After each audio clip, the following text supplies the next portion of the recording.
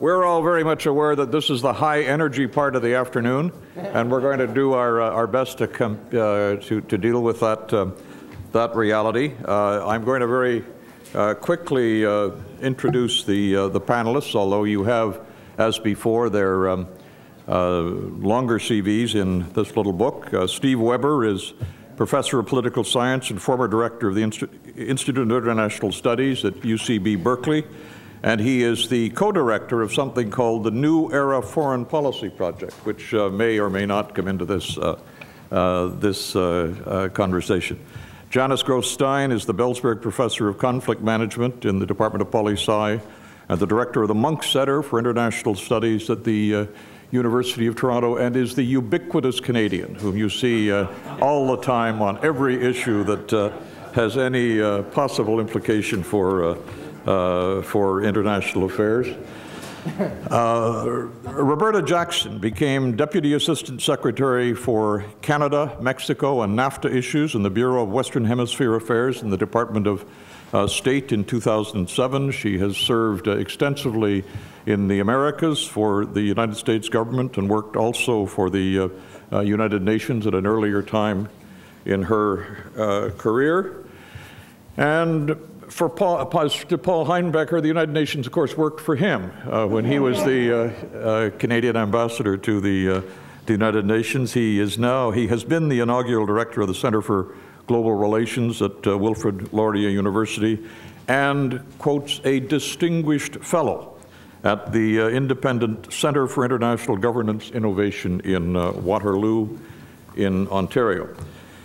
Uh, everybody has read and put to memory the uh, text um, with its absolutely unprovocative thesis that the world is made up of policy makers and uh, uh, policy takers. Before we get into that, I should just state something that I've been assuming and that is going to be the rule for at least this session, if not for others, and that is that we are on Chatham House rules uh, here, and the conversation can consequently be as frank as it, uh, as it needs to be. The policy maker taker um, idea is, is uh, was deliberately framed to be, uh, to be provocative, and we uh, expect that it will be. There was another phrase that I found interesting in the paper, which was, and I quote, uh, the Obama administration is required to demonstrate positive conceptual articulation about how it sees the world. Uh, I don't know which one of you wrote that in these co-written papers. That's the. She wrote it. I suppose you want to go off Chatham House rules now. Yeah.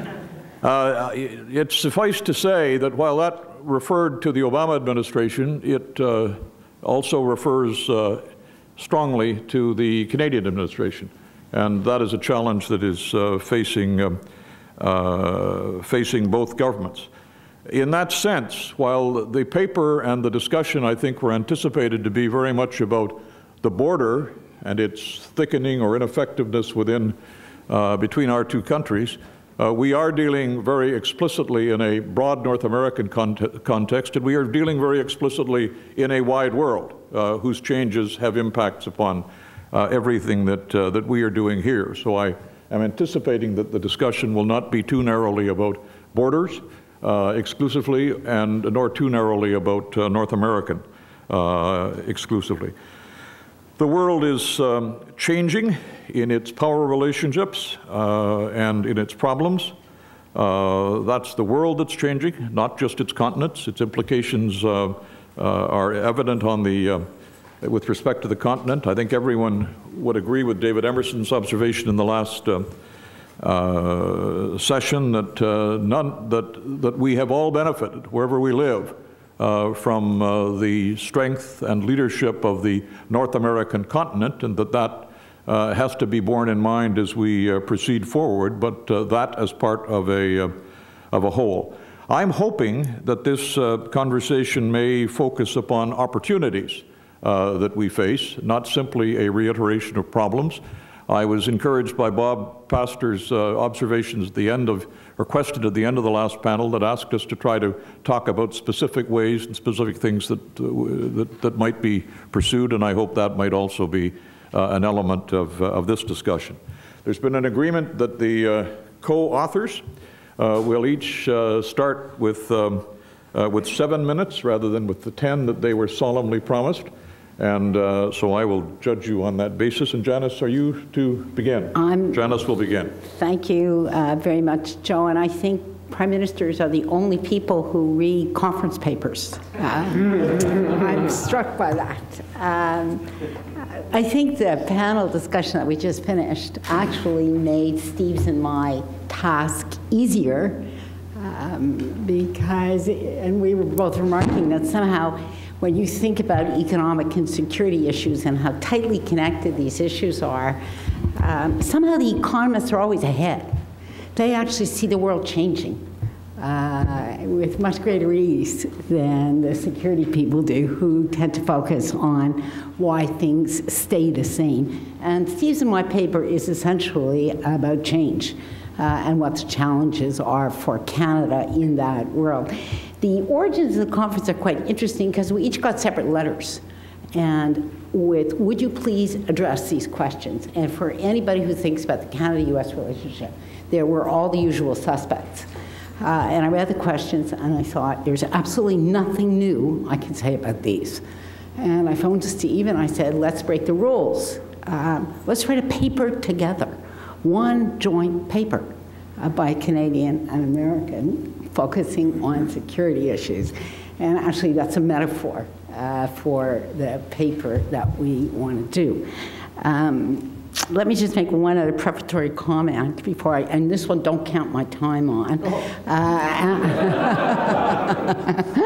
Allan, This is not the Munk Center? This is not the Munk center, that's right. It will be soon. Allan uh, Gotlieb this morning, uh, I think, opened the discussion up wide uh, when he reflected um, on the difficulties uh, of creating shared space uh, in North America. This is a conversation that we've been having in Canada, really, for at least a decade. Uh, and Allan's presentation, as usual, was honest, uh, wise, and it made me think again uh, what a national treasure we have um, with Allan Gotlieb, uh, who has that capacity to look back and say, gee, I think differently than I did uh, a decade ago. So you do not count my time for that one minute there. I know you would.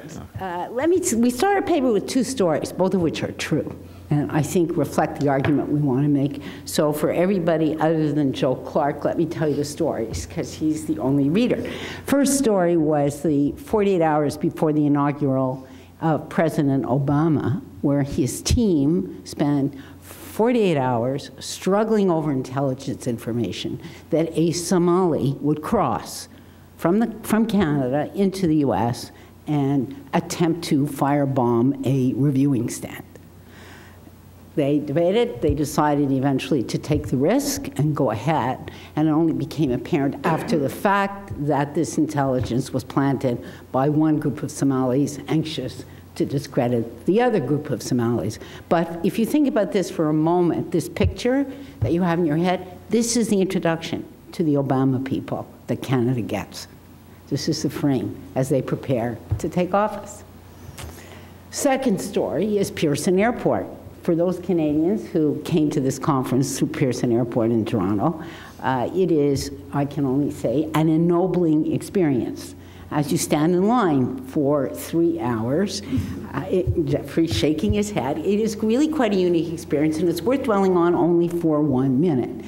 There is no airport in the United States that has security procedures where you stand in line for three hours to be inspected, certified, searched, and whatever else is necessary for an hour flight. And that's effectively what Canadians are going through if they come through that airport to go anywhere in the United States. So the transaction costs are very large and growing. And to put my point bluntly, we have a thicker and a dumber border than we've ever had, frankly. And that sets the scene for the challenges that Steve and I faced. And I am quite pessimistic, as Allan is, that we can actually fix this for a whole variety of reasons, which we've talked about all day. It's that that led then um, us to make two arguments, and then I'm going to hand it over to Steve. The first of these, that on the security issue, Canada is a policy taker, and the United States is a policy maker. Pearson Airport implemented enhanced security regulations before the TSA issued them in Washington, right? Anybody who was around on the 25th and 26th of December, 27th, trying to get out of Pearson Airport, knows that we were ahead of every airport in the United States. Um, we anticipated what the regulations would be, we implemented them, and frankly, we take policy. And we have virtually no capacity to negotiate the rules in any significant way. And I think this is likely on the security field. Now, Paul said to me at lunch, You're wrong because the policymaker was Al Qaeda, the policy taker is the United States, and that's correct. But as far as Canada is concerned, we are the policy taker in that relationship. So, second issue, then, and if we can't fix it, uh, how do we think then together about our future, which is the challenge uh, that we face? And Michael Wilson, I think, put it quite, you know, quite um, provocatively in an exit interview that he had. He said, "Look, as the ambassador from Canada to Washington, I'm sure that Ambassador Gotlieb would agree with him on this. It's difficult to get attention on the bilateral agenda." So how do we get attention in a very noisy, crowded, fractious um, environment full of static? It's actually by raising, working together on global issues that the United States cares about, that Canada gets airtime in Washington. What that really suggests then is for Canada, it has to demonstrate, and um, Jeremy, you said this this morning in your introduction, it's got to demonstrate on security issues its value proposition over and over and over again. And there are two comments that I will make about that. First of all, if, you, if my American friends in the room, we cannot afford to make a single mistake on the border. Now, I would like any policymaker to be in a world where they cannot make an error once. That's the world Canada finds itself in, and it's a very unforgiving world, frankly. That's the first point. The second point is the conventional wisdom is if we have to demonstrate our value proposition, well, we join coalitions of the willing, regardless of what the issue is, frankly, and we demonstrate our value proposition. Well, I put that one on the tape, paper on the table too and said, is that true? It's not at all clear to me it's true. It's not clear to me, and this is not don't misconstrue what I'm going to say, but if the reason for Afghanistan and what we've done in Afghanistan for a decade now was to demonstrate our value proposition to the United States, frankly, we're yesterday's story in Washington now. Where's the value add? Where does, how does it, in fact, spill over into other policy issues that really matter to Canada? So I would like at least to put a big question mark around that rather than just to assume that there's policy payoff that comes from that kind of commitment. That led Steve and me then to say, let's think out about the world, let's think about opportunities. What are the global challenges which the United States and others, not only the United States, China and others, are likely to face over the next decade? Uh, where are there opportunities to work with the United States, and how can we grow the policy space where there might be, in fact, some value add? And that's where I'm going to turn to Steve. Thank you, Janice. Um, I'm going to pick up that thought uh, by talking a little bit about the nature of disequilibria. Um, it's not all a good news story, actually. I mean, when people talk about opportunities for collaboration on a global account in the future, it sounds often quite hopeful um, and aspirational and even optimistic. Um, and there are elements of all those characteristics in play, um, but it's not all a good news story. And to kind of pick up the, the, uh, the, the, the underlying problematic thread of that, I want to turn back to a point that um, my colleague Brad DeLong made earlier uh, about the uh, current state of the Treasury paper market. Um, there is a deep, deep disequilibria in that market that Brad pointed out. Um, and the uh, usual explanation that's given for the willingness of the rest of the world, or ROW as we like to call it, um, disparagingly, to accumulate dollar assets to no end is the everyone's heard this argument. There's no other e liquid market that can take that kind of assets, and so you know we have no choice. Um, I would put forward the proposition that there is a similar kind of view out there, um, but it's actually, ironically, I think, held more fully by the Canadians than by almost anyone else in the world right now, except maybe some aging Western Europeans that the same is true of the market for American security leadership. In other words, we don't really like it, but, quote, there is no alternative. Now, if there's one take home argument from the paper that we've tried to construct, um, it is the following with regard to the there is no alternative argument. This is an old um, claim uh, that usually uh, is attributed to Margaret Thatcher. Uh, from the early 80s, she used the word Tina, there is no alternative. Actually goes back to the scenario guys at Royal Dutch Shell who created in, in the 70s to talk about um, the same argument. She stole it from them. Um, in any case, uh, it's a great argument for the rest of the world to believe if you're sitting in the United States that there is no alternative to American leadership, whether it be in the Treasury market or in the security leadership market or the market for governance. Because um, what it really says, and it hit a very, I think, a deep emotional kind of uh, resonance for folks in that generation was, look, no matter how much you don't like American leadership, no matter how much those Treasury assets are going to depreciate over the next 10 years, at the end of the day, the alternative to American-led order is chaos, there, which, which effectively is no alternative because the historical analogy is the 1930s. And oh yeah, by the way, if you forgot, the historical analogy is the 1930s. And let me remind you about what happened in the 1930s, and we definitely don't want to do that again. So, the alternative to American leadership is the 1930s. There is no alternative. And in fact, the single best, excuse me, the single worst thing you can do is challenge the United States. Because if you win, you lose. Now, as I said, this is a wonderful set of beliefs, and I've cartooned them a little bit, forgive me, but a wonderful set of beliefs if you're sitting in Washington for the rest of the world to believe. Um, it puts us in a position of being able to stretch out the underlying leadership proposition quite a lot longer than it otherwise would have been. And let me point out that, you know, this is a great thing, and it feels quite stable until the moment at which it isn't. And in fact, that's the way disequilibria in these markets usually come. I mean, at the moment at which it, cha it changes dramatically. Now, we were having a little conversation over lunch, which I just want to kind of recapture. Um, the, I, I, go to a lot of these conversations and, you know, with Americans and others, and the number of times I, I hear people say, we're living in what there are emerging great powers, and China is rising. And I just, I shake my head and I say, what's with the, you know, what is that, future conjunctive tense? Mm. This is not the future. This is present day. These are not emerging. They have emerged.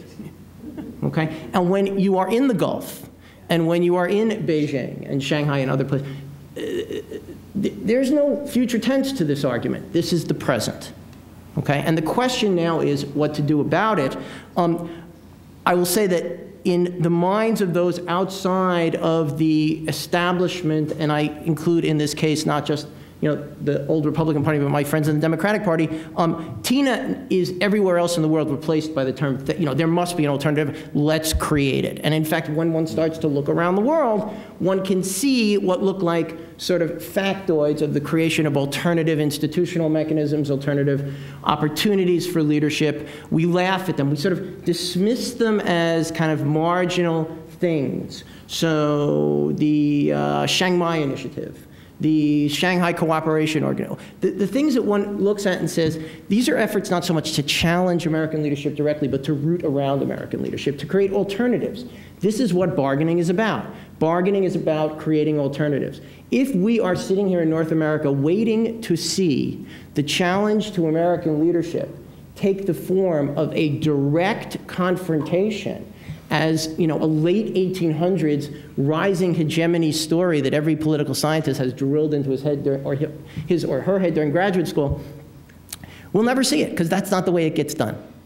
It gets done in exactly the sort of subterranean, and I don't mean subterranean in a pejorative sense, I just mean in a strategic sense, in the option of creating alternatives. Okay, the risk in all that, and then I'll stop beating that um, horse to a pulp, is that the Americans and the Canadians together will be the last to see that dynamic.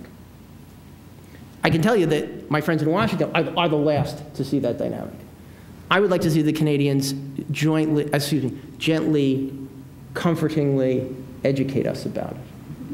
And I think we could do that on three, three dimensions of important global issues that are stretching out over the next decade where leadership is going to be required. Let me just say what they are really, really quickly, and then turn it back to Janice to wrap up because she will always get it right. Um, look, one has to do with the question of, and these are all, let's call them global account issues on which the United States, at least I believe, has to take a position over the next couple of years that establishes a kind of coherent intellectual presence for the Obama administration and whatever may succeed it, which goes beyond, hey, we're not George Bush, aren't you happy to see us? That, I mean, that, we, we got something out of that for a few months, and, but for most of the world, that, those days are over. Um, here are the three, and, and they're very, very simple, and again, they're meant to be uh, both a little bit general and a little bit provocative. One is the diffusion of power and the blurring of boundaries. Um, as I said, this is not something that is you know, emerging. This is something that has happened. Um, it is in the process of uh, happening to both other states and to non-state actors. We don't have a clear position on whether we think that's a good idea or a bad idea. Um, we sort of hedge it. When I say we, I mean the United States. We hedge it with arguments like burden sharing and responsibility sharing and phrases like, and, and I love the speech, um, forgive me for this, quoting Bob Zoellick, um, we tell the Chinese we want them to be a responsible stakeholder, which is defined as you guys pay for our view of world order. Um, here's my question that the United States will have to answer over the course of the next couple of years, maybe sooner and to which I believe the Canadians could make an interesting and valuable contribution that maybe we could hear. Look, is Washington ready to take yes for an answer to that question? From China in particular, but from others as well. Um, and so, you know, maybe the iconic cartoon story of 2016 on that um, point will be um, when the uh, first major grant is made from, I don't know, let's say the Abu Dhabi Global Development Foundation to the city of New Orleans, will the federal government in Washington permit that to happen? Will we invite it? Will we like it? Maybe it'll come through Canada. That'll make it easier for us to decide. Um, second, the obsession and forgive me for this, but I think it's an unhealthy obsession. Most obsessions are unhealthy. Um, this one is particularly unhealthy. The obsession with process over outcome. Uh, if I get involved in another argument about multilateralism versus unilateralism, I am going to shoot myself. Um, that's not a real argument. The rest of the world doesn't really care about process in that. Now, look, I'm overstating the case. There are reasons to be concerned about the legitimacy of political processes right? Um, but look, the it, it, this is a bargaining game, as I said. And bargaining, as we know, is all about creating alternatives.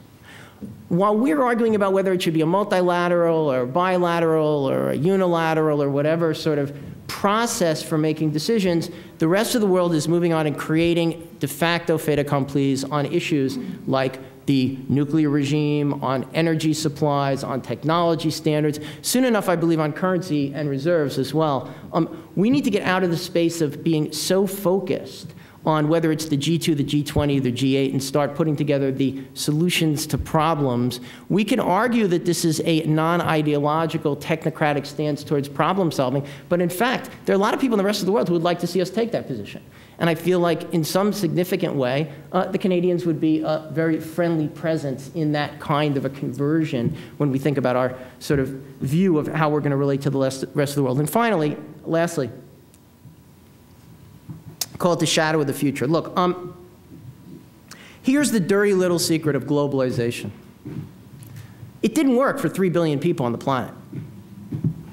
In their minds, they have nothing to lose from it coming to an end. Right? They may be wrong. They might, we, we can argue about whether that's right or wrong. I'm saying about what they believe. Okay? Um, the American century, which was, by the way, the last one, not the, necessarily the coming one, um, did not deal with the fundamental challenge of what I see to be modern global politics, and it is simply this can we help make that next 3 billion get rich, or at least richer, without poisoning the planet? I thought the last panel teed that question up um, very well. I don't think it's going to be solved as simply and as pragmatically as uh, Brad suggested. Um, and it requires the United States to take a position of at least some form of leadership with regard to what we think our view is on this question. And we really haven't done that um, in a serious and adult way. DC and the rest of the American population have all the zeal and all the untutored confusion on this issue of new converts. We decided in 2005 that it was a problem, that there was something called the environment which was a problem. And like my mother when she stopped smoking, um, suddenly nobody else in the world could smoke. Um, now, the rest of the world asks, by what rhyme or reason are we actually calculating our discount rates? Our view of what our time frame is for making progress on this set of issues and how we explain that to the rest of the world. I find enormous confusion when I go outside the United States as to where we are on that score. And I would call it out for the Canadians in the following sense. It follow, well, what we do on that issue, as we say in the paper, sets the parameters under which Canada has to make a choice. You can be a hydrocarbon economy, or maybe you can be an environmental leader, but you probably can't be both. And the character of your decision depends on what it is, I believe, over the next couple of years, in part, um, is decided inside Washington about the nature of the kind of discounting rate, or shall I call it, time frame for progress on this issue. Um, if you're going to be a policy taker, that's one place where it's going to affect your interests most boldly. Um, I would want to step up to the plate and get ahead of that set of conversations to try to frame them more effectively for the American elite than have been um, framed. Let me end um, and turn it back to Janice for a quick wrap up, if we have time, with the following statement. Um, the, the, prior panel's conversation about um, the dysfunctionality of American government strikes us all, you know, I think is, you know, intuitively right. Uh, Jas said there's no good metric. He's right. Um, by the same token, there's a lot of emotion around it. Um, by the same token, it all makes us feel good to complain about how dysfunctional the Washington elite is and, you know, et cetera, et cetera, et cetera. I don't know if it's right or if it's wrong, but I will say this. Um, the United States needs friends we don't have that many friends in the world right now. Um, we have a lot of people who want to like us for various sorts of reasons. We have a lot of people who want to work with us for lots of reasons, not least of which is our material and technological capabilities to bring to the table. But we don't have a lot of real friends that we have a deep, trusted intellectual relationship with, combined with a kind of cultural, um, how can I put this, uh, bon ami, if I can do bad French. Um, we all do.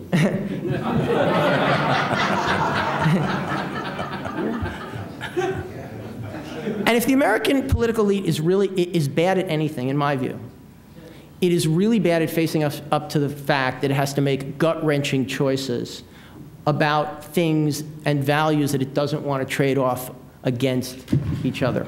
Um, because we, you know, we, haven't had to do that for much of the second half of the 20th century, um, and we'd like to believe that we never have to do that. And in fact, it's sort of almost a characteristic of Americans to say that if somebody tells you you have to make a hard choice and you can't have your cake and eat it too, you're just not thinking ambitiously enough about the issue, and you ought to be a disruptor instead.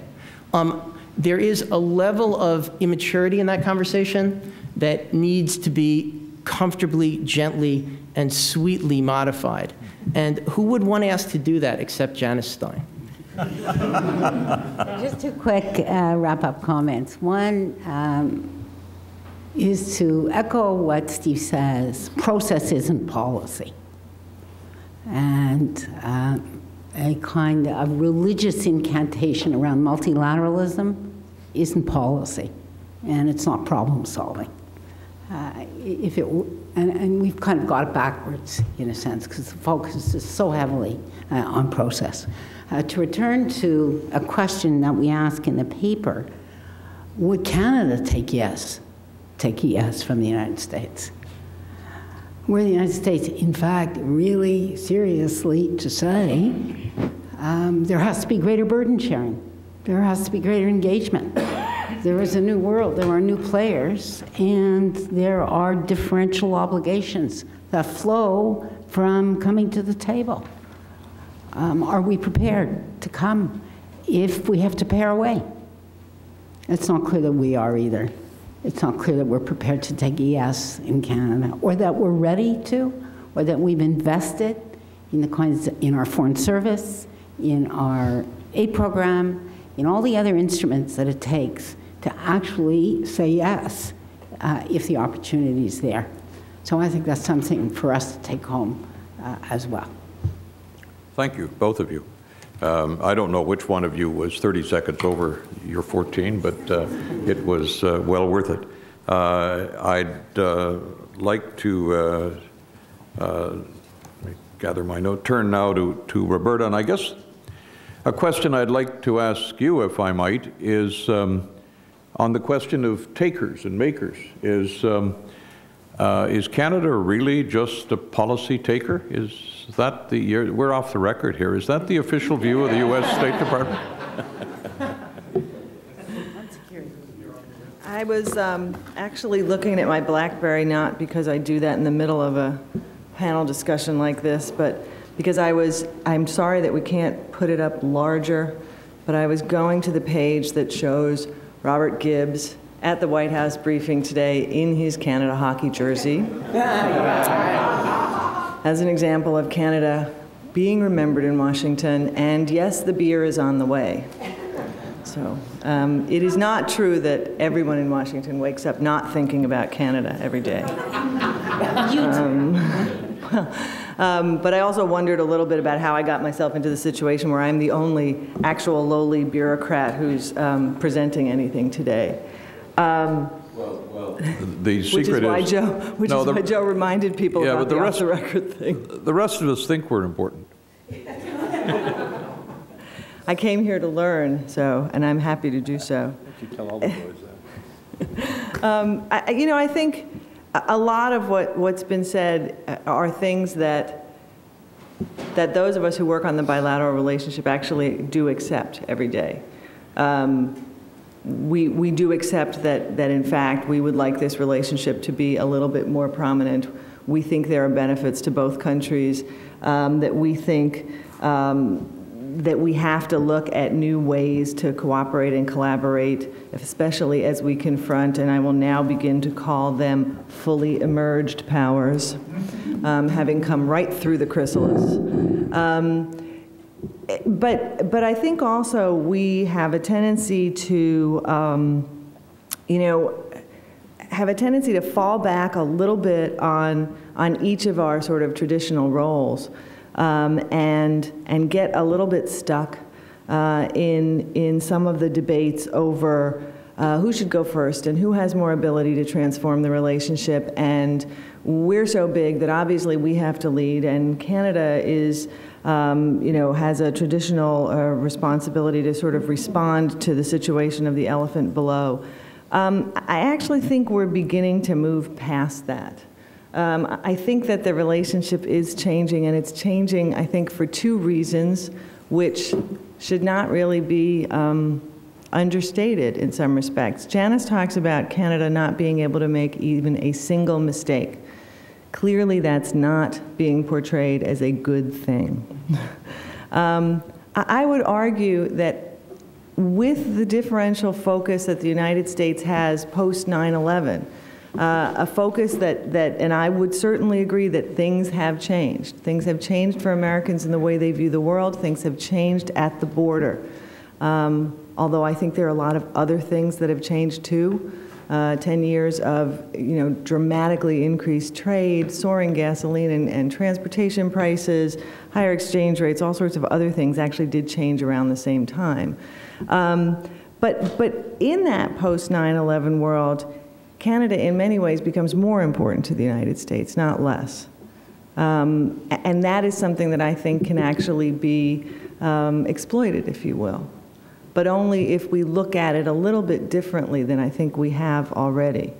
Um, so I think, you know, the, the way that we look at both the border and international threats continues to have to be one of partnership um, and not one of a sort of a zero-sum, uh, you know, constantly worrying about whether Canada is getting as much as it should out of the relationship. And possibly that's because right now there are echoes of similarity in the discussion about who should lead. if Canada wants to move North America ahead more than the United States does right now, um, I actually think it might be a good time for Canada to put a proposal forward to the United States, a vision, a, a plan. The answer to that that I often get as a U.S. government official is, we're a minority government. That, that's not going to happen while we're a minority government. Okay? I understand that.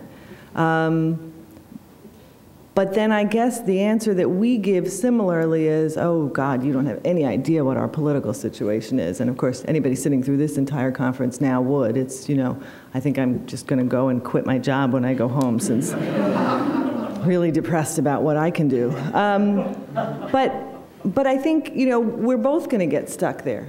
Um, so one of the things we do is, is look for ways, I think a little bit as Tom Pickering said, to move forward on the tactical from below, if you will, and then continue to try and work on ways to get something coming down from above for which we can be ready. Um, and I think that, that some of the things that we've been doing uh, really, really have the possibility, the potential uh, to improve that. I think, for example, and, and Janice and I talked about this a little bit at lunch, and I believe her words were pipe dream.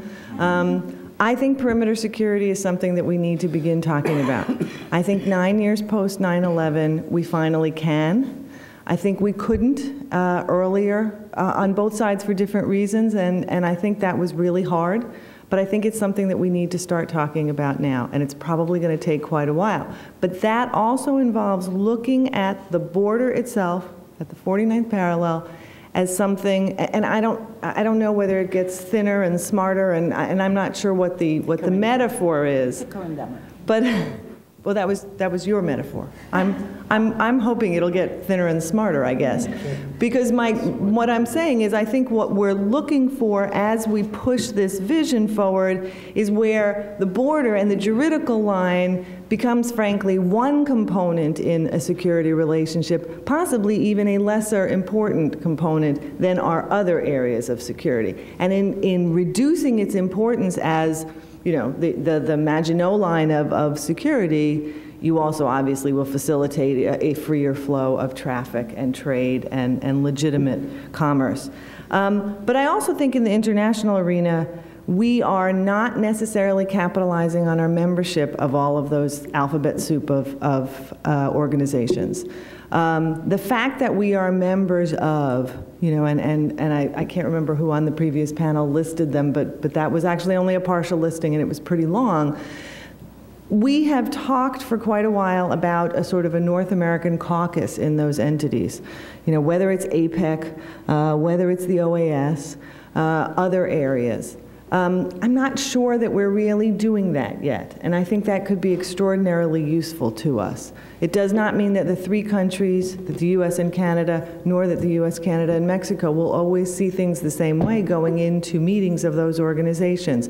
But surely we ought to be thinking about the one or two most important issues that a meeting of those groups are going to deal with and what we want to come out of it. And there I think, you know, the, the situation in organizations like that, which are generally consensus based, some are voting based, uh, but are generally consensus based, Canada plays an enormous role um, in persuasion, in leadership, uh, in working with countries in the Caribbean and elsewhere who can have a determinative impact uh, in some of these organizations, and therefore, in a sense, has outsized power uh, and can exercise it with the United States as we move to make decisions.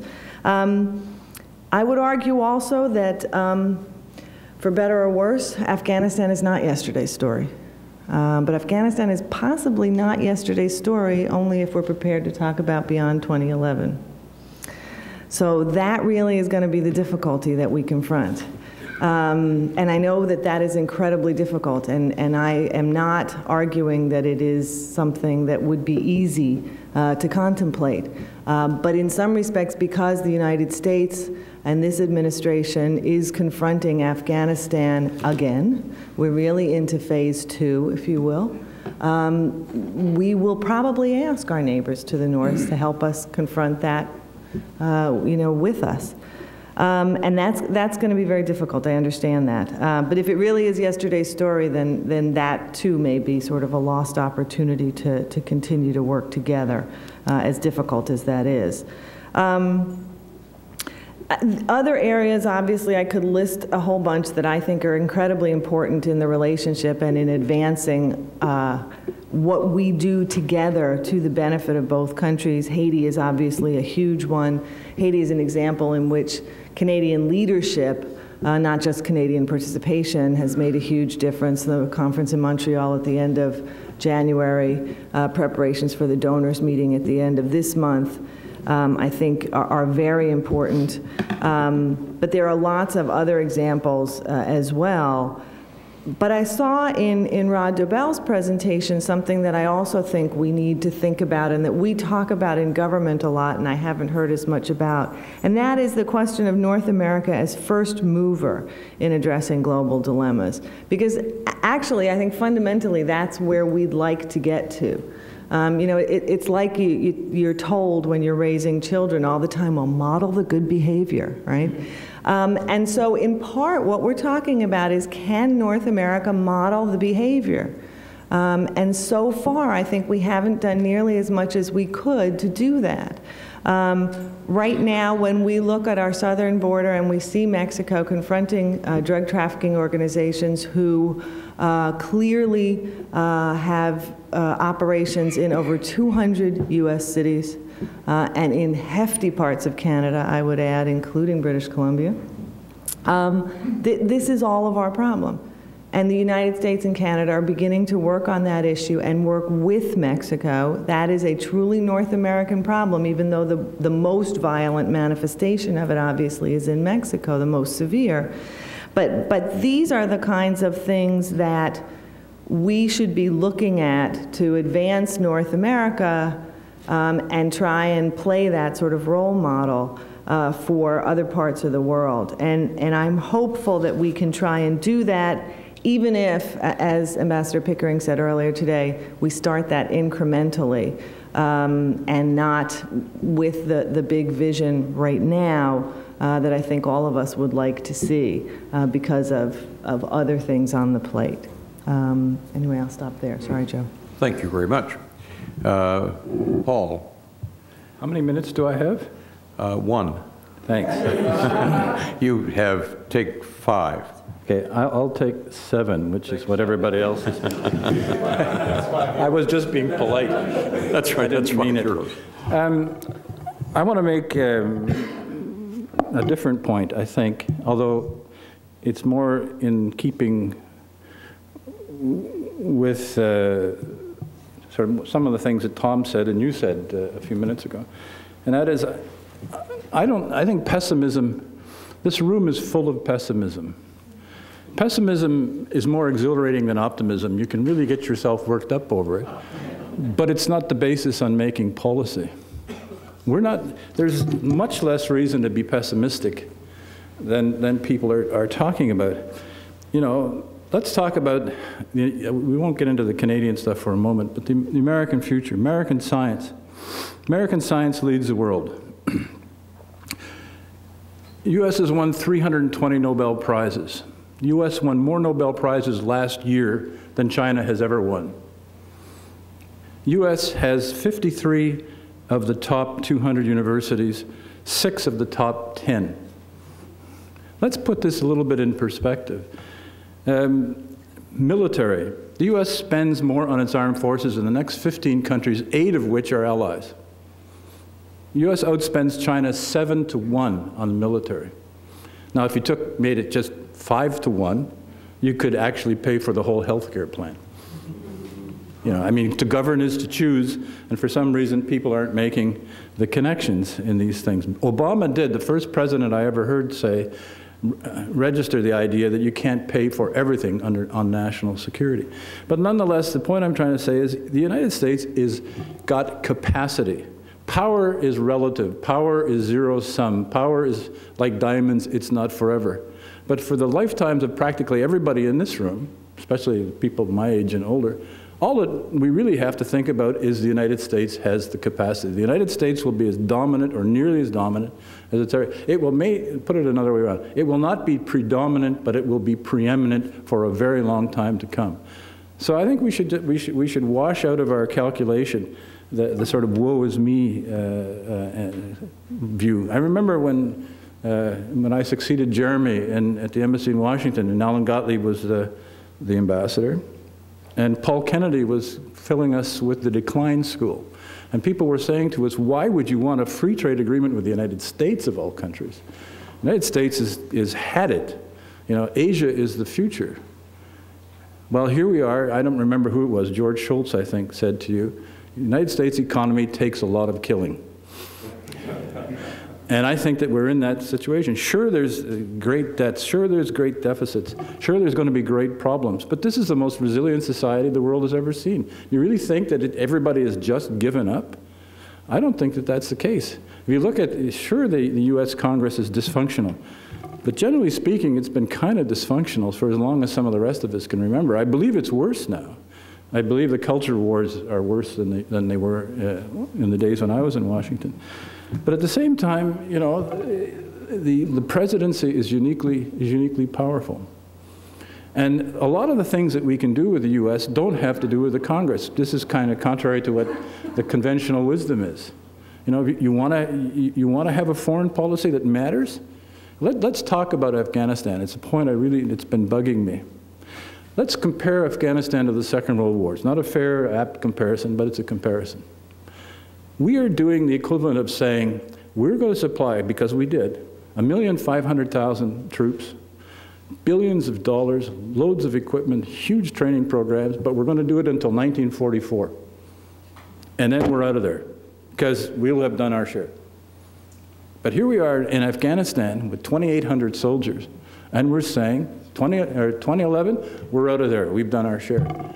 Either, it's, either there was a reason for going in the first place, and if there wasn't, the conservative government, when it came to office, should have got us out of there the day after. And, and if there is a reason for going there, then we should, we should be there to, to stick with it. If we don't think it's going, if we think Obama's assessment, that painfully reached assessment, that it really matters to American national security, if we think that that's wrong, I guess we can say so. I mean, we said that in Iraq. We thought they were wrong in Iraq, and we were right and they were wrong. We could say it again in Afghanistan.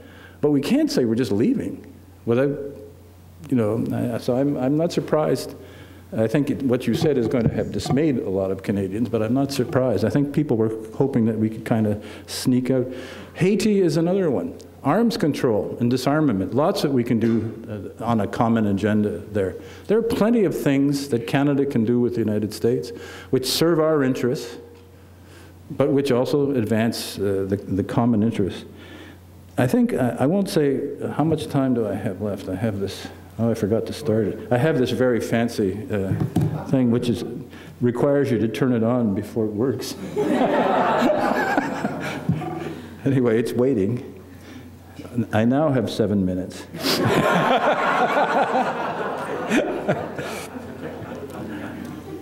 I think the, the world that we're going into is, and this is a Canadian point now, I think it's right up our alley. I think that we're, we, we're, we're looking at a golden future. The United States will remain powerful, economically strong, a great market. Maybe it could be better, maybe it could be worse, it'll be up sometimes, down sometimes, but it's going to be very good. And we're going to have the, the rest of the world. There's going to be China, there's going to be India, there's going to be Brazil, there's going to be Europe, Russian bear. There's all kinds of things that are going to be happening that from which we can profit. And if we're smart enough and agile enough, and I would, and we used to be, that we can benefit from it. This is a world that's made, made for our kind of diplomacy. So all we, you know, what we need is some vision and some leadership and some will, and we can do, and, and we can really do great things. And I'm sort of where Jim Baker is. You, you don't have, there's not going to be a conflict with China unless people will it to be so. It doesn't have to be the case. So let's, you know, this is, this is where we come in. This is the kind of thing that we can do. I mean, we're not going to be interpreting the Chinese to the Americans. I don't for one second think that. But we are going to find lots of places in the interstices of all of these problems where we can make a positive impact, where we can be useful to ourselves, we can be helpful to the Americans, we can make a lot of money, we can be a lot richer than we are now, and everything is going to be fine. I couldn't be more optimistic. I think that the future is really, really golden. And I think when we look back and we think of the golden age of Pearson, we're going to actually think that it wasn't so golden in comparison. Thanks. Hmm.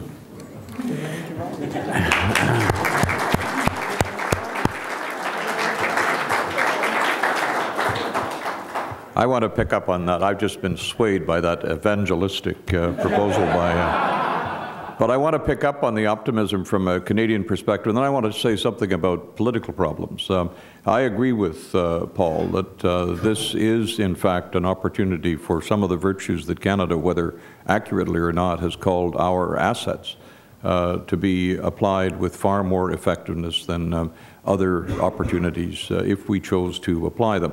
And I'm fascinated by the idea of uh, North America as a first mover on, uh, on global dilemmas. Uh, being a first mover means that uh, that's an act, that is an act of persuasion and of very constructive coalition building, not, not the coalition of the willing that we, we had in the past, but of drawing people in who um, uh, and it doesn't assume that people are going to drop, drop into line, but there are a range of issues. Paul has enumerated um, uh, some of them. Roberta has enumerated all of us, and everyone on the panel has enumerated some of them where that could be moved. One last point I want to make, and I make it with some real trepidation because it has to do with, um, uh, with political obstacles. Um, uh, one person who does not appear to me to be intimidated by the gridlock in the U.S. political system is your president. And uh, that is uh, a, uh, I think he's right. Uh, there is, uh, it's a system that, uh, that can, can, can move, can be made to move. What's delicate for me to talk about is what minority governments can do, because I unfortunately demonstrated some of the things, some of the carelessness with, with, with which we shouldn't act. But it's, it's worth noting that, uh, again, going back to the Pearson government, principally domestically, but also, uh, uh, also internationally, um, from a minority position, they took extraordinary measures that took a lot of courage and got accepted. And the trouble is that in any system, political or otherwise, you can always find excuses for ducking. And uh, the, uh, the challenge now in a circumstance where our where circumstances are changing and our interests are being challenged uh, or opportunities being created across a, a, wide range of fronts, we should not be searching for excuses uh, not to act. We should be very diligently looking for ways in which um, uh, things can be moved forward. So. I, um, uh, I think now I've talked my way past the spell that Paul cast, uh, we'll see if the, uh, if the rest of you do. And I'd like to um, uh, turn it to the audience. It's going to be very populist here and go to uh, uh, the most, and, and go, what's your title? what's your title, Jerry? The Regis Professor, Professor Ambassador, His Excellency Kinsman.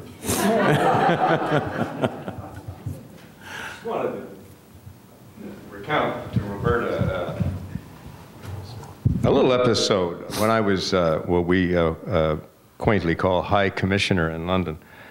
In Italian, it's much better. It's Alto Commissario. I liked it very much. Um, on the 10th anniversary of NAFTA, the, uh, my American colleague and my Mexican colleague and I, I have to say that your American colleague went in a helicopter. We went to the party conferences in Britain, which are very important the Labour Party, the Conservative Party, the Liberal Party. And we actually gave parties. We gave NAFTA 10th anniversary parties. I was skeptical. I thought that there was going to be some kind of leakage uh, from each of us in identity. It was the opposite. I think everybody was enhanced because, as someone once said to me in London when we were uh, being ignored all the time, do the unexpected. And it was unexpected that Canada and Mexico and the United States would co present themselves as a thing. As a thing. And you know, it worked. Um, let me tell you what I wish worked a little better. When we designed this conference, we put together scholars and practitioners. I got a feeling you're missing each other, okay? The scholars are talking on a level of abstraction that is missing the practical realities and challenges of the world today. I picked up something since Allan Gotlieb's here that Allan wrote that I think is absolutely still true. He wrote a few years ago the U.S. remains the only state that articulates and acts upon a global strategic vision. That's true. And I think that as an ally in a community uh, with the United States, that we can contribute to that, Janice. But I would like to comment on something you said. It is not a question of joining a coalition of the willing just to demonstrate our loyalty. Mm-hmm. We have to do what we authentically are. And what I think we authentically are increasingly is North American. And I don't think there's anything wrong with asserting that. And I think that our challenge in meeting your challenge of putting forward a proposal is that the United States also begin to behave as North Americans. I'd like to know what you think of that hmm. and how you think. I mean, there are lots of things that Paul mentioned about arms control, about uh, verification, a whole ton of stuff we can do. About Afghanistan, I have to say I disagree with you. I think we've been chewed up. Uh, we were spent 155 dead, a billion, billions more. It's up to other people now to move into NATO. But let's put that aside. What, what can we do together? This, uh, this um, uh, North America as first mover thing, I think, is the most important thing said in the conference. Thank you. Uh, thank you, uh, Your Excellency. Uh, is there a comment from the panel, anyone in the panel? Sure. I, I know Roberta wants to answer your question, Jeremy, and I'll let her answer it. But let me tell you, in order for North America as first mover to make sense, both governments have to identify as North American, right? And, well, well, both, Canada, the United States, and Mexico as well. And in fact, very pragmatically, very practically, that's not the case. That's not the case. So Roberta can say that that's what she wishes, but in fact, speaking as a realist, that's absolutely not the case. Were there to be a real commitment to being North American, we would not have a thickened and stupider border 10 years later. We would have found ways around it. And in our argument at lunch, Roberta and I, she said, well, well, you know, we need to think creatively about a common security perimeter. She's the idealist, I'm the realist. We have extended sovereignty at Pearson Airport, and we're waiting. You are sovereign at Pearson Airport, and we're standing in line for three hours. That's not thinking like a North American. So I wish you were right. I just don't see it. The, uh, in order for the three countries to think as North Americans, they need not do it simultaneously. And I, as I gathered, Jeremy's point was that Canada may be well positioned uh, to, uh, to take some leadership on this and to, uh, uh to send. Why? Why? Yeah. Well, uh, who would do it better? of the three. Who could do it better? The Mexicans can't. The Americans uh, have their own preoccupations. Uh, it is a it is a field where where we could uh, we could do it better. Anyway, let me retreat to the neutrality of the chair. Next is uh, Roberto, Roberta, and then Paul, and then Steve.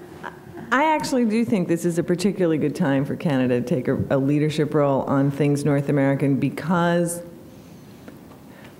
because we in the United States feel so hemmed in by the political dysfunctionality, if you want to call it that, that there are a lot of people in government who I think, if presented with a proposal from the top, um, would give it more attention than they otherwise might.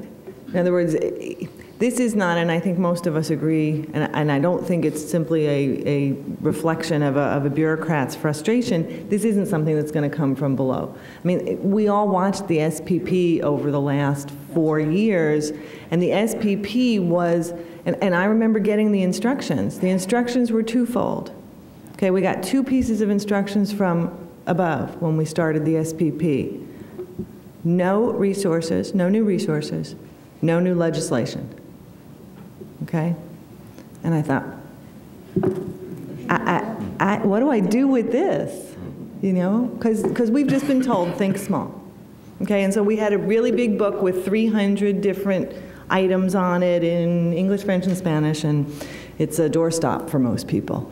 Um, but but it seems to me that actually you're getting at a harder problem, which is how do we get Americans to think more as North Americans? And, and, I, and I think that clearly it's both a psychological and a political leap that I don't think we've yet made, and therefore, in the current political climate, is going to be really, really difficult. I mean, I'm enough of a realist to recognize that. Um, so it's part of the reason why I guess I'm hoping, and maybe it's um, maybe it's a cop out, uh, that some of this could come externally.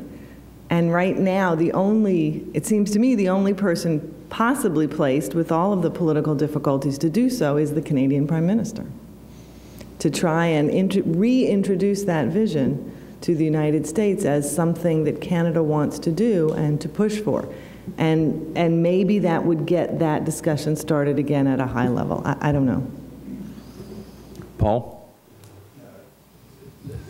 I think it's certainly the case that it doesn't work bottom up. It doesn't work because the provinces and the states cooperate. Um, I mean, it's good that they do, but uh, part of what they're doing is in the absence of leadership from the top. Um, what I think, though, is we need to keep our thoughts clear. Uh, I want to say something about the, sort of the thicker border. I don't think that to think North American means to, to remove borders necessarily. Uh, I think that that's part of where we go wrong. We think to ourselves, my God, we have to, you know, this is a thick border, it's a stupid border, it's Janet Napolitano's border. Um, you know, we, uh, and somehow we've got to overcome that, and then we can face the world. I don't think we have to do it in that order. I think we have to recognize that we are in this to together and there are some things will follow from that. But we don't, you don't have to sort of recreate North America before you get started on dealing with the rest of the world. That would be, the second thing is be careful with the term first mover. Because I can tell you on a lot of things, we look a lot more like the last mover than the first mover. You know, think of climate change. Where, where on earth have we been on climate change? Actually, you know? You know that, that's an interesting one for the coming year. Mexico will, co- will host COP16. Um, I, no, no, no, but that's, the point is between now and December, can we do anything with that? Can we exploit Mexico's chairmanship of COP16 to do anything that couldn't be done in Copenhagen? And the answer may very well be no. Um, I don't know. Um, but the point is, if, can, if Mexico's got an interest in this being a success, and Calderon has shown some significant leadership in this area. Is there something we can make of it? Because we've had difficulty with this over the last year. Yeah, but I mean, again, for the record, Harper wants to wait. He said so. Let's take him at his word. He's a, he's a, you know, he's prime minister, and he's saying, I don't want to be a Yeah, first well, mover. look, I want to be the last mover. I don't want it reported that I defended Mr. Harper. Yeah. Uh, but, but, but, but look, we're not here, we shouldn't be confined by what we are. We're talking here about what we could be. And uh, hard positions that countries or individuals have adopted can be changed. Uh, and what we're talking about is where is the range of change. I'm going to go to Steve and then Pierre Marc, and then I'm going back to this uh, Democratic audience. Uh, yeah, three, three very, very quick responses to this. Um, on the border, thick, thin, smart, stupid sort of thing. For anyone who's ever lived in New York, it's a really easy problem to solve. Um, as a border, you can never be too thin, too smart, or too rich. Very easy. Um, second, more serious, um, uh, Jeremy, on this issue of, you know, U.S. is the only power in the world with a global agenda. With all due respect, um, and I can say this because we sat together at dinner last night and had a few drinks. Um, saying it does not make it so. And it's very rare for me to defend the value of academic research, but um, this is a place where numbers actually tell quite a different story. Um, and whatever it is, I mean, we should talk about really, um, rather than argue about, you know, what, what the facts are there, the multiple dysfunctionalities of behavior that follow from that belief including, I might add, lots of things which push against your aspiration for there to be a North American identity. North American identity is not going to come out of that belief, whether it's right or wrong.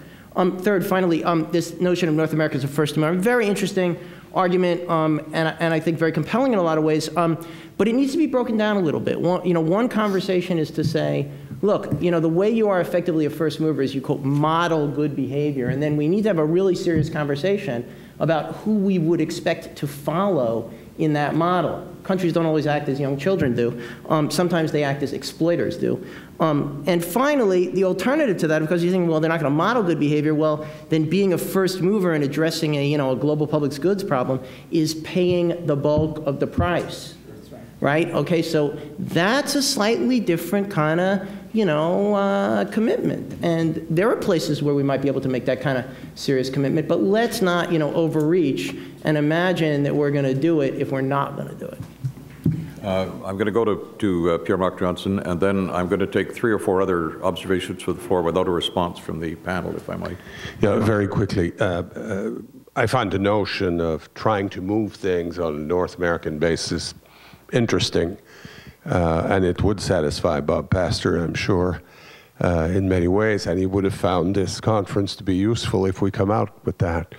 Um, but there's a, an interesting experience that's been going on for years around that. It's North American Commission on Environment, um, which I've studied pretty much and wrote a book about. And I can tell you that uh, it's been marred with problems of low-level bureaucrats, low level ministers, low budgets, and low self esteem ultimately. So I, if we really want to talk North American rather than just play it for the press, I mean, give these people resources, appoint senior people in departments. Uh, the concept of having a North American agenda on the environment has been around for 14 years. Uh, not much has happened. So maybe the situation having changed recently and the perspective of the Mexico conference uh, might push people into a situation where this is revived, and I hope it is. Uh, Ambassador Gotlieb. Mike. No, the mic. No, I'm, we're going to wait for responses. No, no. No, no, no, please. Thank you. Thank you. Um, yeah, just a couple of points. I, I, um, the, the theme of the panel this afternoon is national security and international affairs. I guess I, am one that thinks that uh, there is a relevance between the behavior of the United States towards Canada in connection with uh, our bilateral relations, the freedom of movement, goods, uh, and, and uh, our foreign policy. I, I, don't think myself that there isn't a more important question in terms of our national interest than the uh, successful addressing of what's happening in our border. The costs of this are basically eroding the gains we made at NAFTA. And they're really, I think, uh, I'd have to, uh, I've said it before, and I'm glad that Janice articulated it so well. I think it, um, it, it, it, it is a disgrace that we have come, we are, we, we are arriving in a situation where we are today. Uh, you can go from, from Lisbon to Bulgaria without going through an immigration uh, stop or security, and you can't go from Toronto to New York. Uh, this is uh, uh, without the greatest degree of harassment. If, foreign policy isn't about this, then you know, give me a break. take foreign policy somewhere else. This is what this is where the national interest lies. Secondly, there was a lot of discussion about the role Canada can play uh, for those of you who have been around the Canadian scene for a long time, you know this is a subject we love to discuss. Paul has put a brilliantly optimistic picture on Canada's ability to play a big role, bigger role. And it is a fact, and I, I agree with him, and I said this morning, we are moving into a international environment with many players, many significant sovereign states, all pursuing national interests. But to me, from the standpoint of the distance that I can bring from my long retirement, I, I, think that the role that Canada can play, if it can play a role, in, in terms of the general agenda of the world that concerns, uh, is, is, got, is got to be opportunistic. It's got to be related to the situation as it arises. And it's not going to come, as a view that I've expressed before, from any great foreign policy studies of what Canada can do or what is our comparative advantage or what are our strengths. It's going to be opportunistic. And the question is, it's bound to be optimistic because you can't foresee the future very well. And half the disputes we're dealing with today, we weren't dealing with all that long ago. So, but to be opportun to, to, to, to play a role, we can be if we're opportunistic. But we can't unless we have the resources. And I can't think of anything more important in the resources than the human resources. And we've been neglecting them for a long time. It wasn't by accident by the way, let me step back in history. It wasn't by accident that there was a man called Lester Pearson who helped to create UNEF for the. Uh, he was part of a culture. And he was one of a number of people, let me say without giving offense to any Pearsonians, um, of equal intellectual stature. When the United States put together, when Secretary Stettinius put together the first list of, uh, of American candidates to be the first Secretary General of the, United, of the United Nations in 1945. There were four on that list. There were two Canadians. The top of the list was Norman Robertson, and the second was Lester Pearson. But we had a culture that attracted, forgive me, the brightest and the best. And if you have talent, you can make a, and if you have knowledge and you have exposure uh, then you may be able to help.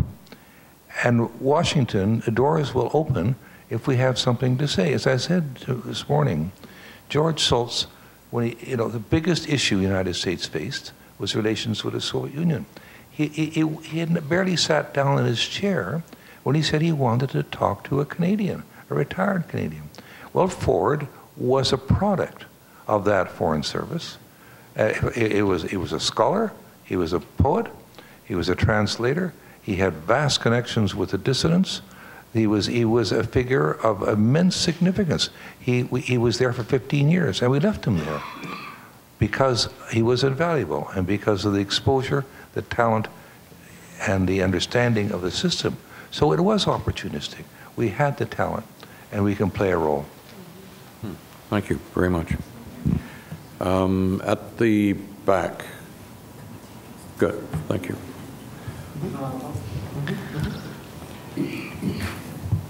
In 1960, my girlfriend, her mother, and I drove across the border from Montreal to Plattsburgh, filled up the trunk full of toilet paper, Cheerios or cornflakes, and whatever else we could buy drove back across the border. There was some momentary tension as to whether the customs agent was going to ask us to open the trunk, which which would have cost an extra $20 to give him to ignore what he saw.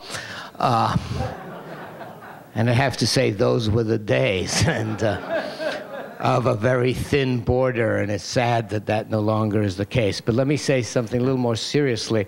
I'm very glad that someone said something actually that made what Richard Johnston and I did relevant, and that is that the notion that there is in either the United States or Canada in the general public a widespread notion of we are North Americans as one. There's just no evidence for that. Certainly, you can word questions in a way that gives people a chance to name multiple identities, and that will be there. Bob Pastor mentioned that. They do this in Europe too. Do you think of yourself as a German or as a European? People say both. And then you say, well, what do you think of first, German or European? They say German. And that's, you know, for the moment, that's it. I think a lot of these international integration.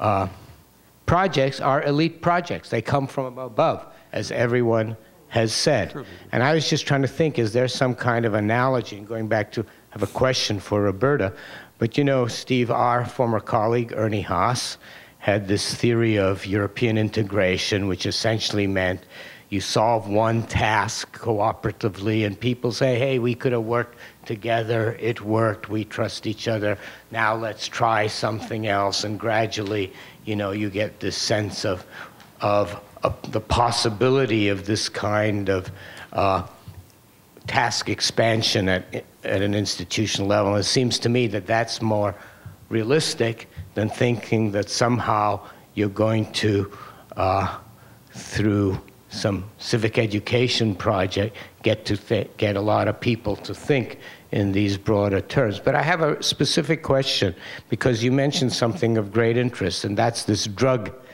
problem. You know, that seems to me an issue where who would disagree that there are common interests? Uh, who would disagree that there, you know, this is something should be done about this? You know, you are venturing into the Bay Area. We keep you in the Brower Center. We don't drive you to downtown Oakland or Richmond, where you might get shot because of some drug related war, because it happens every single day. And every weekend we have was this a good weekend? What was the body count, you know, this, this, this weekend? So, my question is why is this not an area, or maybe it is, that something is being done, and if that can be done and it can work, it can have some kind of a demonstration effect. And I know this is, in a way, a national security issue as well. So, say, save the answer if you don't mind. I'm going to go to I'm going to go to two more interventions from the floor. Um, back at the, the red tie behind you. Thank you for this opportunity. I, uh, my name is Peter Dumont, and I'm a, a, prime founder of a nonprofit organization, a grassroots initiative for peace education that's about 25 years old. And we're not really visible, but we've prepared carefully uh, something. I, I, let me say, I have a question, but in order to state my question, I have to share a little bit. So. I'll try to be really brief. So, we're promoting a set of defined quality of life peace ethics for all. And we feel it is very important for global security and national security that peace education and inspiration in some practical way be promoted to the masses around the world. Okay, question? So, the question is how do we approach our United States government? How do we approach the government of Canada to, if, if there's a real urgency to it? If, if, if there's something really there that we could contribute, how do we get funded and, and taken seriously and get some advocacy uh, for big business reconciliation and support that I think we deserve? Okay. One last comment from the floor, uh, Dr. Pastor. Thank you. Janice, I'm going to ask a very uncomfortable question for you and the two Canadians. Um, you started by saying that your international posture is a source of some currency uh, and importance in the relationship with the U.S. So, therefore, there's a, the, the proposition critically, I said. And therefore, the, the question really goes to a tension between the extent to which Canadian foreign policy is viewed as a national interest in and of itself and the extent to which it's part of a source of potential currency with the United States mm-hmm. um, that can be used to advance other interests. Uh, I asked uh, a couple of weeks ago uh, an official in the US government why he felt that the president had changed the position on the Buy American provision instead of just stalling, as is the want of American presidents on these issues for decades uh, he did go ahead with it, and they said, well, it had to do with Afghanistan and perhaps a change in the position. He, now, I don't know if that's true. I don't know if he knew uh, whether it was true or not, but in fact, Roberta also suggested that this is obviously a source of great importance to the United States. And the question is whether, how would you feel if the trade off came to you? Um, uh, would you, and if you did, um, uh, would you uh, be too afraid of seeming crass, of perhaps offering uh, a one year extension at a time, which is, of course, the way the parliaments work and Congress works when they do trade offs on domestic policy, which is what you're talking about. Uh, come back next year and we'll see what we can get uh, for it next year as well. So that's the question is whether, whether uh, you want to focus on those areas that the United States gives highest priority in exchange for trying to elicit uh, attention and good policy, not just good words, uh, from the United States on a, on a key domestic concern. Okay, thank you, Bob. We've had um, several commentaries, and the panel is free to respond to any of them. There are two or three specific questions, one relating to the drug problem, one relating to uh, this could open a floodgate of applicants for, by people who are looking for, for help from the government, how peace education might find public support in, in uh, Canada, the United States, and the third, uh, uh, Bob's, Bob Pastor's question. So I'll accept whoever wants. Paul. On the first question, I think you have to find your own billionaire. Uh, and I won't say more than that. Um, second question, I wanted to, it's, it's a variation on the theme. That's, the theme is governance. Allan was talking about uh, we, have to be, um, we have to be opportunistic. One of the things that we've been quite good at historically is governance. We must be good at it. We're the only country that doesn't have banks failing, and you know, uh, uh, there are a lot of things that we seem to be doing right. We have a national health care program and so on. So if we're good at governance, and if we're heading into a world of multi, sort of a multi-centric world, I wouldn't call it a multipolar world because it's a little hard for me to see. There's only you can have one or two poles, but I don't think I have multi-poles. Multi-centric world, governance is going to become almost an end in itself, or maybe it will actually be an end in itself, if we were going to try to keep the world peaceful. So that's one of the things that I was thinking of that we can opportunistically uh, probably do something quite significant. Uh, what, the, the, third question was, what would we think if somebody offered us a trade-off of uh, Afghanistan for, for uh, free trade or for um, Buy America? I wouldn't touch it in a million years. Uh, uh, I, I'm not sure what I think of Afghanistan. I'm, I'm, but I am moved by the arguments that Obama has been making. Maybe I'm just susceptible to them, I don't know. But if the United States really thinks this is an important issue, if the British are, you know, and, and, I'm, you know, I know the history of Iraq and, and the British as best ally and vicarious power uh, player and all of that sort of thing. But nonetheless, if our two principal allies both think this is worth investing in, um, maybe we at at least have a very serious debate about whether, whether we should just leave in 2011 because this is, if you want to have a, a, relationship with the Americans, I think, of sort of partnership rather than just being clients, I think you have to take on some of the, th the thinking that, uh, that is motivating the, the way they're behaving. And if we agree with it, we should, you know, draw the consequences. We disagree with it, then we have to say, sorry, we disagree with it. But in terms of trading economic benefits for, for military activity, I, I don't, I don't think so. The, um, uh, we are at the end of our time. I'm going to let the let panelists respond and thank everyone for their participation. Janice. Just let me say that I agree with Allan that the border is eroding the fabric of the relationship between Americans and Canadians. Yeah, and it's eroding it, and we are paying the higher adjustment rate, frankly. Um, and I think it's very difficult for Americans who don't understand it and don't experience it on a daily basis. But you reach a point where Canadians think twice, do they want to come here? Because of the costs. Um, and so I agree that we, we have to have a conversation about this. I don't know how we do it. We've tried for four years. We've gotten nowhere. Um, but I think it's a critical issue. And I think it's poisonous uh, for the relationship. And I think it's antithetical to thinking as a North American, Paul, because you experience it. People experience it and that's their sense. Uh, I also want to, and, and I, I, made this point when I said, would we take yes from the United States? Would the United States to say, yes, we want greater participation? We've disinvested in our foreign service.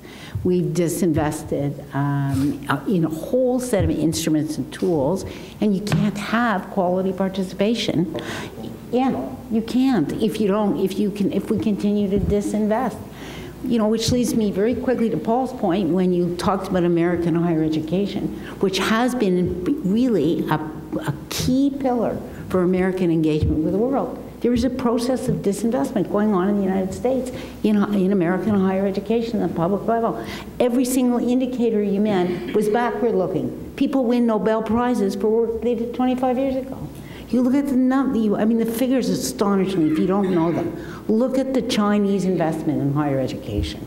And look at the numbers of Chinese PhDs in science and engineering and computer science. Now, the quality is still here, but for how long when Chancellor Birgeneau started the day the way he did, right? So I think, I, I, I don't think we can look forward with, with utter confidence on this. The drug trafficking story is a really interesting story because I just came back from Mexico City, um, where I spent a week with a similar group of people, and the level of paranoia about kidnapping and personal violence I've never experienced. And I've been in some very rough war zones. I've never seen people, you know, as frightened to go out because they fear their child is going to be. Now, what's the underlying story? There was collaboration between the United States and Mexico. They knocked off the heads of the drug cartels. They destabilized it. The violence actually happened after there was a North American approach to the thing, and there's now an open arena for competition as to who moves up. And that's when you've had this massive upsurge in violence in Mexico City, which is actually terrifying people. So the Mexican academics are not anxious, frankly, for a North American solution, even though they recognize that there's a North American problem. And I think it's, it's, it's a worthwhile caution. Uh, an end to North American demand. No, the That's a debating different story. afterwards. We've got to a finish different the... story. Finally, I agree with Paul. You cannot trade economic interest. Uh, if Canada believes, his comment was right, if Canada believes that it is in our national security to be in Afghanistan, the government should have and must articulate that argument in a way that's persuasive to Canadians. It hasn't. And I, again, we're on Chatham House rules. The Prime Minister. We're not, by the way. Yes, we are. We, we, I've declared... I stopped. I stopped. Don't be alarmed, anybody, by Ambassador Kinsman's intervention. He, he and I will look after, in, in the American tradition, we will look after the tape. Uh,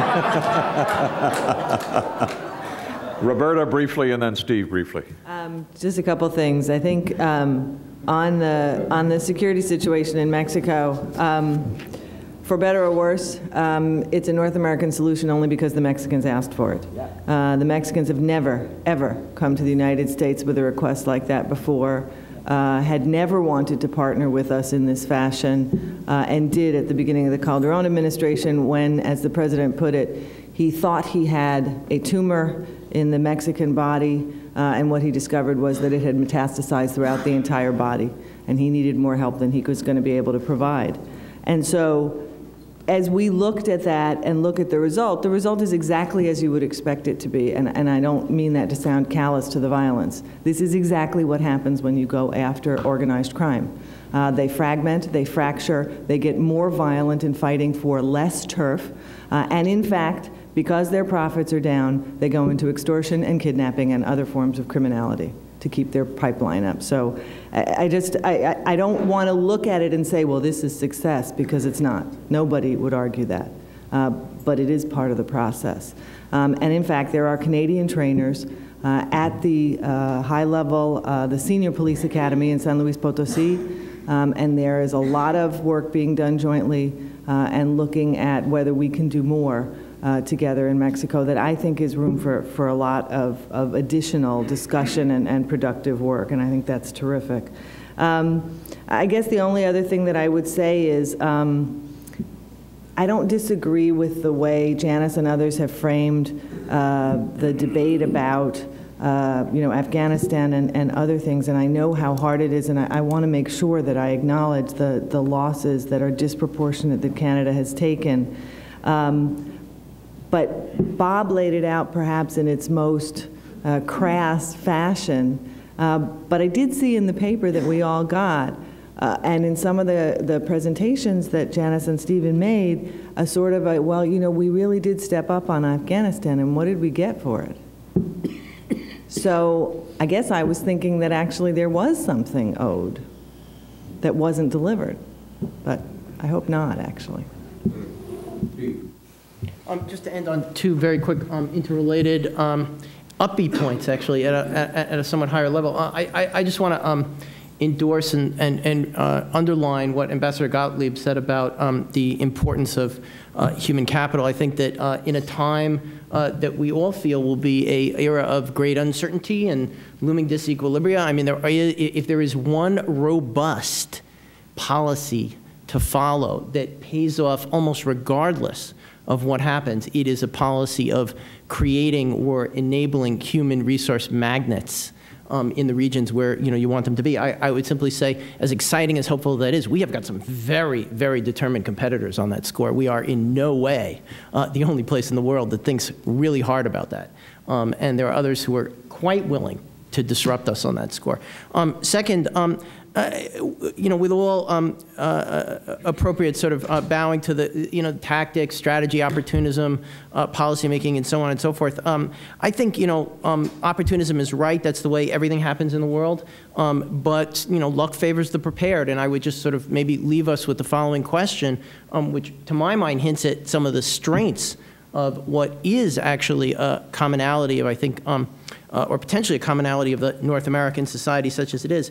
Um, I, I, would have to say similar to what I just said about human uh, capital magnets being a kind of a robust view of what works um, almost regardless of what comes over the next decade, I would say that the following is true too. If we had a plausible answer to the question of, you know, what kinds of societies and regimes are best positioned to shepherd and facilitate the movement of human beings, and I explicitly say human beings, not political systems, through rapid technological change, ambient anxiety, which I think we're going to have a lot of over the next decade, demographic transitions, and really quite you know, high amplitude changes in the way we see the world and the way we experience the world, crises, as it were. Um, that's a question that feels like you know would be a very high level, but any tactics we can draw and any opportunities we can position ourselves for in answer to that question are probably something around which we might be able to get a little bit more joint action. So I'd leave it at that.